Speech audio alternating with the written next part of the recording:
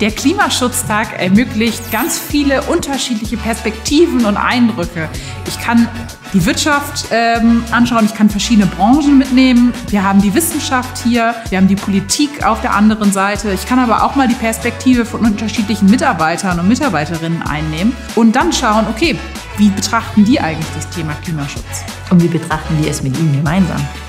Die Besucher erwartet ein buntes Programm, ein inspirierendes Programm, wo Klimaschutzunternehmen zeigen, an welchen Stellen sie vorangehen, was sie machen. Nachmachen ist ausdrücklich erwünscht. Das ist auch ganz klar der Ansatz. Es geht um Wissenstransfer, ums Netzwerken, um die Best Practices.